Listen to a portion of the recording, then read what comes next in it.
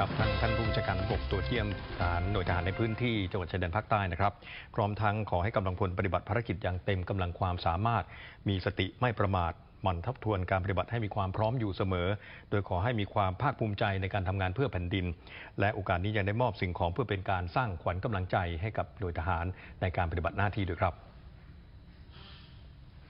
พลเอกเจริญชัยหินเทาผู้บัญชาการฐานบกเดินทางลงพื้นที่จังหวัดชายแดนภาคใต้ เพื่อตรวจเยี่ยมหน่วยในพื้นที่ โดยมีพลโทสารติสกุลตนาคแม่ทัพภาคที่ 4 และผู้บัญชาการผู้บังคับบัญชาระดับสูงในพื้นที่ร่วมให้การต้อนรับ ผู้บัญชาการฐานบกได้เดินทางไปหน่วยเฉพาะกิจกรมฐานพรานที่ 41 ตำบลวังพญาอำเภอรามันจังหวัดยะลา เป็นลำดับแรก และร่วมประชุมก่อนมอบนโยบายแนวทางการปฏิบัติ ในประเด็นยึดถือยุทธศาสตร์คนดีตามนโยบายแม่ทัพภาคที่ 4 ให้ทุกคนป้องกันตนเอง ป้องกันที่ตั้ง ซึ่งการพัฒนากระบวนการคิดการพัฒนาวิธีปฏิบัติยังคงเป็นสิ่งจำเป็น และมั่นใจในกระบวนการคิดของทุกคน เพราะฉะนั้นอย่าหยุดพัฒนาขณะเดียวกันผู้บัญชาการฐานบกยังได้พบปะกำลังพลของหน่วยเฉพาะกิจกรมฐานพรานที่ 41 และได้มอบนโยบายการปฏิบัติหน้าที่ โดยขอให้กำลังพลยึดมั่นในอุดมการทหาร ขอให้ปฏิบัติภารกิจอย่างเต็มกำลังความสามารถ ด้วยความวิริยะอุตสาหะ มีความกล้าหาญและมีความเสียสละ ก่อนที่จะมอบสิ่งของเพื่อเป็นการสร้างขวัญกำลังใจในการปฏิบัติภารกิจของกำลังพล จากนั้นผู้บัญชาการฐานบกได้เดินทางต่อไปที่หน่วยเฉพาะกิจนราธิวาสอำเภอเมืองจังหวัดนราธิวาสเพื่อติดตามผลการปฏิบัติงานในการแก้ไขสถานการณ์ความไม่สงบในพื้นที่ ซึ่งผู้บัญชาการฐานบกได้รับฟังการบรรยายสรุปของหน่วยกำลังในพื้นที่ และได้กล่าวขอบคุณทุกหน่วยงานในทุกสังกัดที่ได้ร่วมกันปฏิบัติหน้าที่ในพื้นที่รับผิดชอบ ด้วยความเข้มแข็งทำให้ในภาพรวม สถานการณ์ความรุนแรง เริ่มลดลงกว่าในปีที่ผ่านมา ต่อมาผู้บัญชาการทหารบกได้มอบโอวาทให้กำลังพลที่บริเวณสนามหน้าหน่วยเฉพาะกิจนราธิวาสโดยได้กล่าวชื่นชมในความมุ่งมั่นตั้งใจของกำลังพลที่ปฏิบัติหน้าที่ด้วยความทุ่มเท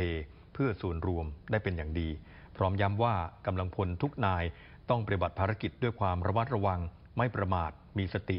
มั่นทบทวนการปฏิบัติให้มีความพร้อม เมื่อเกิดเหตุอย่างทันท่วงที เพื่อสร้างความปลอดภัยและความมั่นใจให้กับประชาชนในพื้นที่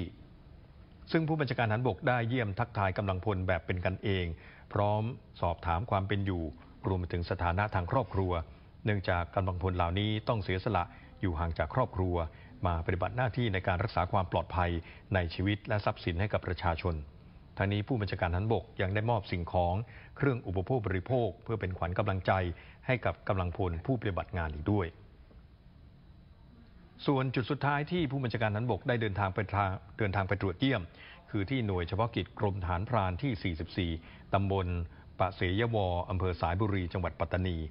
และเน้นเน้นย้ำให้กำลังพลตื่นตัว และปรับวิธีการให้ทันต่อทุกสถานการณ์ และสอดส่องเหตุต้องสงสัย พร้อมทั้งประสานงานกับเครือข่ายในพื้นที่ ให้เข้าถึงพื้นที่เกิดเหตุให้เร็วที่สุด รวมถึงเพิ่มความระมัดระวังมากยิ่งขึ้น เพื่อให้พร้อมเคียงข้างดูแลประชาชน อย่างเต็มกำลังความสามารถ นอกจากนี้ผู้บัญชาการน้ำบกยังได้กล่าว ให้กำลังใจและมอบความห่วงใยและความปรารถนาดี แก่กำลังพลทุกนาย โดยขอให้มีความภาคภูมิใจในการทำงานเพื่อแผ่นดิน ท่านี้การตรวจเยี่ยมหน่วยทหารในพื้นที่จังหวัดชายแดนภาคใต้ ของผู้บัญชาการนันบกในครั้งนี้ นอกจากจะได้ติดตามการปฏิบัติภารกิจแล้ว ยังเป็นการสร้างขวัญกำลังใจให้แก่กำลังพลที่ปฏิบัติภารกิจในพื้นที่ชายแดน ด้วยความมุ่งมั่นและเสียสละ เพื่อปกป้องอธิปไตยของชาติ และดูแลประชาชนอย่างเต็มศักยภาพ